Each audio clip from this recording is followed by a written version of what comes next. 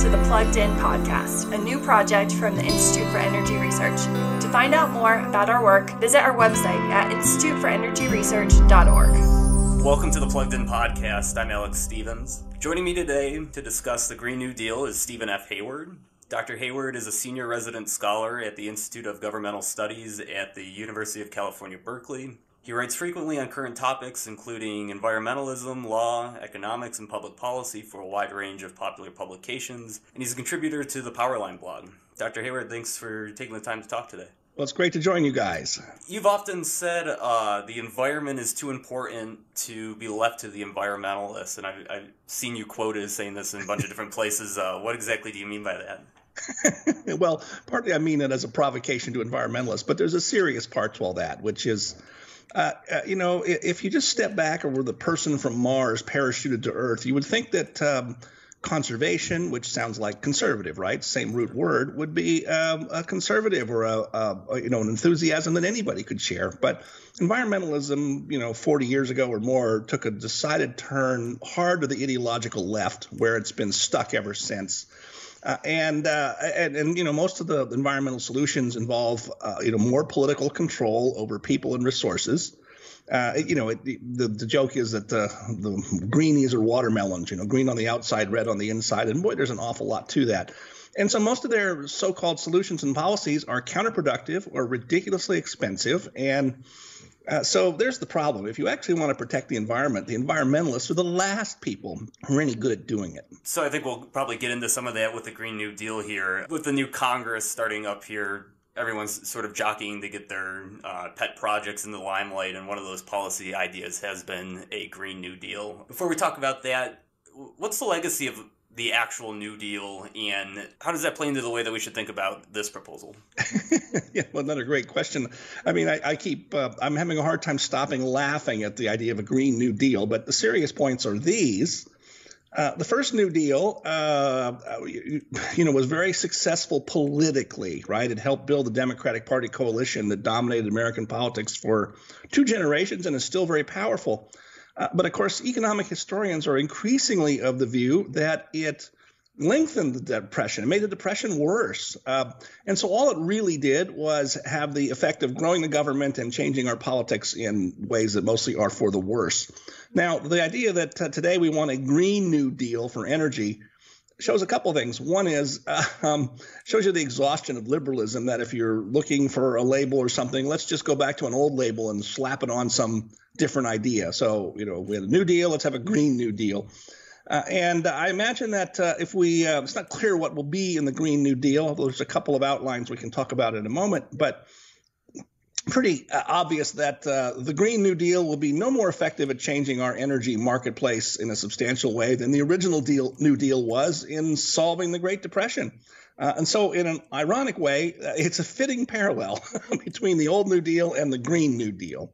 I guess I'd say one last thing is, um, you know, there's no specific legislation yet on the table, except there are the goals that have been laid out, which is get rid of all fossil fuels in 11 years by the year 2030. And this is simply a lunatic idea. Uh, and uh, it'll be interesting to see if they actually, uh, the people behind this, uh, actually try to flesh out in some concrete form real legislative language that would reach that goal. And when that happens, I think it would be a very, I think the politics of it will flip against it instantaneously.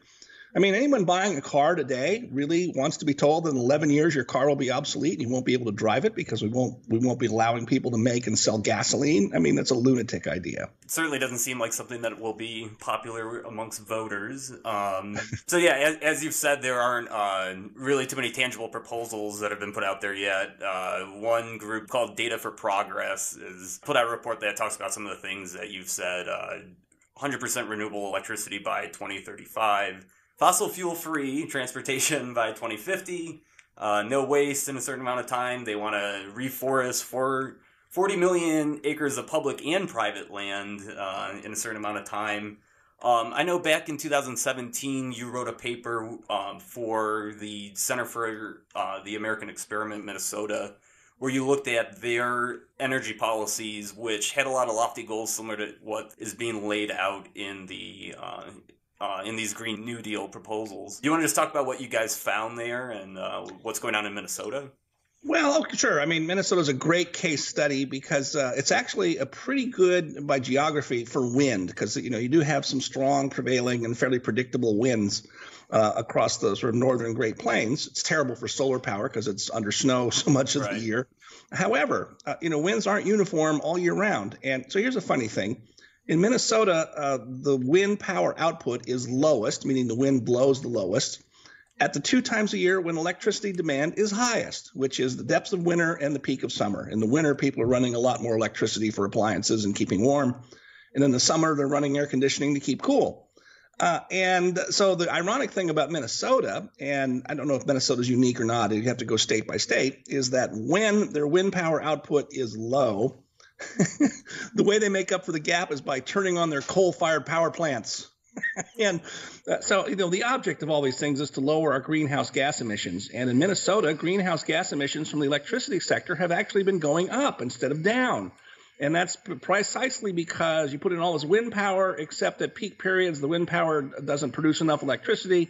So then you turn on and run your coal power, uh, coal power plants longer. Um, now, some of those coal plants are being retired and replaced by natural gas, and that gets you some emissions reductions, but it won't get you to zero uh, which is you know what the Green New Deal says we have to do. Um, and also keep in mind, I know you guys know this well, is that the electric power sector is only you know I, I'm not sure what the number is nationally, but it's only uh, you know half or so of our total energy use. The other half is transportation.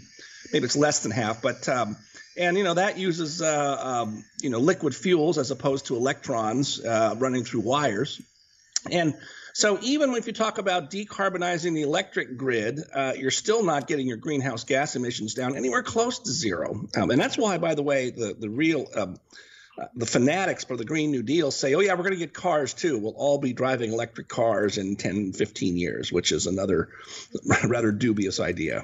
And one of the shocking things that uh, you guys talked about in that report too was Minnesota used to have a really um, was really competitive in terms of their uh, electricity pricing. They were electricity used to cost about uh, eighteen percent less than the national average in the state. Um, and during the time that you guys studied, that, that uh, gap was pretty much uh, diminished, right? Yeah, and now it's above the national average. I mean, it's been slowly creeping up, and uh, you know, there's no really good reason for that, except that all these uh, renewable energy technologies, even with their subsidies, turn out to put upward pressure on prices. Uh, and uh, so it's not too bad yet in Minnesota. I mean, they're a little bit above the national average, but they used to be nicely below it. And we'll see if that continues because um, you know, Minnesota, as I say, it's a really cold place in the winter, and so uh, energy demand is fairly inelastic there. Why do these ideas that of like a grand strategy to combat climate change and to change our energy markets? Why do these plans appeal so much to the left, and why do they seem to drag just about every other issue in with them? The the uh, these Green New Deal proposals also want to solve, you know, unemployment problems and What's the, the appeal there? Yeah, well, you know, you don't have to go very far before you find people on the green left saying that, in fact, capitalism is the problem, and uh, uh you know, changing our energy mix is really the step, the first step to having a whole new political economy. Uh, and even short of the hardcore socialist among them, I think there's this long been this impulse that if you get control of the energy sector, you really do have great control or leverage over the whole economy. Uh, you know, the socialists of the 1940s and 50s, especially in Europe, used to talk about uh, the commanding heights of an economy. And that meant for them banking, steel, transportation. And that's why Britain nationalized all those industries when the socialist government came in in 1945. And so now what you've got is uh, um, people saying, oh, wait a minute, the energy sector is really the commanding heights of the economy. You control that, you control an awful lot because it is a big part of the of the global economy and the national economy. So, how do you see the uh, these Green New Deal proposals playing out in terms of practical politics? Is this something established Democrats uh, would ever actually go for, or is it merely sort of upstarts in Congress who are trying to get people excited about them being elected, or people trying to get people excited for a run up to 2020. Yeah, so uh, I, I, think there's two things to be said about it. The first is, uh, you know, there was a big split among the House Democrats as this new Congress came in.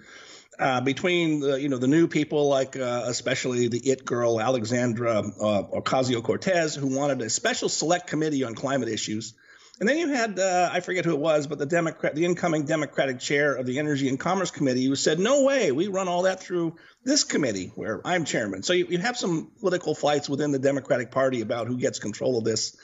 Uh, Cortez and her allies sort of won. They're getting their select committee, except it doesn't actually have real power to write up, uh, mark up legislation. It's purely to investigate and talk. And that'll be interesting to see how that goes. Um, so there's that split to watch. The second thing is if you go back just 10 years ago now, when the last time the Democrats had a big majority in both houses, they proposed, you may remember, the Waxman Markey emissions trading plan. And it barely passed the House and did not pass the Senate. And it was a terrible bill. I mean, it, you know, it, it actually would not have done very much at all, but it would have set up an enormous bureaucracy to regulate especially the electricity sector in the country, and they were buying off people left and right with subsidies and giveaways and carve outs and all kinds of nonsense. And the, the Green New Deal, if you take the advocates of it literally, are proposing something much more ambitious than the Waxman Markey bill. And so I think that if they actually propose something anywhere close to what they say they're after, it will crash and burn pretty quickly in Congress. Um, so returning back to what we were t- talking about at the beginning of the episode, uh, you were talking about you know the environment's too important to be left to the environmentalists.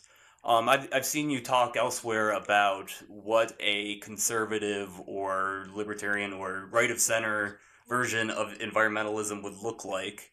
Um, do you mind just giving our audience uh, sort of a framework of what our ideas have to offer people who are concerned about environmental issues? Yeah, well, that's a that's a big subject. Um, but first of all, uh, you would want to have a policy bias towards non-centralized, non-regulatory solutions, or to the extent that you have the you're open to regulatory solutions, you want them to be ones that use property rights, incentives, uh, and an emphasis on technological development and progress ra- uh, rather than uh, you know one size fits all, very prescriptive technological solutions coming from the EPA in Washington. Um, and then the second thing is you'd want to actually have priority on what the real problems are. Now, it's another long uh, story, but we've made enormous environmental progress in the United States since the 19 early 1970s. Uh, regulation has had some role in that, but really it's been economic growth and technological improvement and what mostly the regulations did was just make it more expensive. Um, you know, the EPA, I like to say, specializes in billion dollar solutions to million dollar problems. so, uh, you know, there's some areas where we are, there's still a lot of variation in, in the environmental quality, like uh, surface water quality. That's a very localized problem. Uh, and uh, you know the, the, federal government's been trying to figure out how to extend the Clean Water Act for a long time and hasn't done a very good job of it. There are a lot of gaps in our data. I think we should be for uh, very good monitoring of environmental conditions. Some things we monitor well, some things, especially surface water quality, we monitor very poorly, although we're getting better at it. Um, and above all, uh, I think one way that anybody who's not a, a left wing greenie is you don't see this as an apocalyptic problem you know every environmental problem that comes along the left says it's the end of the world. It's you know how, you know bees are dying out uh, the ozone layer is going away and you know climate change. And everyone is always every issue is always defaulted to the end of the world and the solution they offer is always the same more political power for government. And so the, the uh, to restate the point in one sentence a conservative disposition on the environment would reject all that and treat this as a normal problem not as an apocalyptic problem, and not as an excuse for more centralized power. I think that last point about fear is very interesting. I uh, I just got done reading Robert Higgs's uh, Crisis and Leviathan, um, yeah. and he and he pretty much details there the history of panic uh, leading to government overreach. Um, so I, I think that's a really important point about climate change that we don't really discuss probably enough is uh, just looking at the history of the way that fear has been used to um, sort of push more bureaucracy, more regulation, and things. So a, a lot of these policy ideas are um, designed to subsidize uh, technologies that people think are upstart technologies and things. Uh, where do we actually see most of the innovation coming from and the sort of progress that opponents of a green new deal would uh, actually want to see? Yeah right. So you know the the chatter you hear from environmentalists and the news media which uh, mostly don't know any better is that oh look how much the cost of solar power has fallen and look how much better wind power has gotten. And there's some truth to all that. But if you really want to look at where energy innovation has taken place in the last 20 years, it's overwhelmingly in fossil fuels. Uh, everyone knows about the uh, uh, the revolution in um, oil and gas exploration from directional drilling and hydraulic fracturing, such that uh, you know we're now the world's the United States is now the world's leading oil producer. Uh, and you know we were told as recently as 10 years ago by the liberals well we can't drill our way out you know it's just impossible uh, and all of a sudden you know our proven reserves which means you know oil that's practically pr- um, practical to extract have gone from about 20 billion barrels 15 years ago up to about 35 billion barrels today. And really, the number is probably much larger than that. And so that's a technology story. Uh, that's one that the environmentalists never saw coming. Uh, I think the people who said we can't drill our way out uh, really ought to uh, shut up uh, because they were clearly wrong. Uh, and then on the on the use side, we have seen tremendous improvements in the efficiency of power plants, of, of you know turbines, uh, combined cycle natural gas plants are really good and really cheap. Uh, coal plants, if we build new coal plants, uh, they would actually be better than the ones that uh, the environmentalists hate today. Here's something almost nobody knows: is that uh, China's been building lots and lots of new coal plants. All of them are more efficient uh, and have lower emissions uh, than American coal plants. And so that uh, that's a real embarrassment to us that we're making it impossible to build new coal plants. Um, and you know, the Chinese are going to pass us by in that regard. Um, so uh, then the last thing is is um, uh, maybe not the last thing, but one more major point is that the advocates of the Green New Deal, oh, in the last week or two, put out a letter to Congress signed by 625 different environmental groups. I didn't know there were that many, but there are. And they said a Green New Deal has to be 100% renewable energy, no nuclear power, uh, no carbon capture if you're worried about the, the emissions angle from traditional fossil fuels. Um, and in other words, they uh, and no natural gas, no fracking. In other words, they're actually against all the things that work. um, and so, one area where we're still behind, I think, is uh, nuclear innovation. Only because um, you know the big companies still want to build the great big old plants that they built in the 70s and 80s that I don't know. I don't. I don't understand why we can't make this cheaper. Um, but the f- couple new plants we're trying to build are coming in way over budget, and there's lots and lots of talk and a fair amount of private investment from people like Bill Gates going into seeing if we can't create a new generation of smaller modular nuclear reactors. Uh, there's a whole lot of people enthusiastic about thorium reactors. I'm agnostic about all of them, and I don't think they should be subsidized. Uh, but I do think that the uh, regulatory environment and, and other aspects of the policy environment shouldn't be hostile to it. And that's the default setting for environmentalists is they still can't get over their fear of the atom. I think those are all excellent points, uh, especially when we talk about you know regulatory costs on any type of power plant. That the money that they end up spending could go into improving their technology, could go into capital improvement things. So um, it's a point that's certainly overlooked quite a bit um, when it's discussed uh, in the media and things. Right. My guest today has been Steven F. Hayward. Professor Hayward, thank you for taking the time to speak with me today. It's been great to join you guys.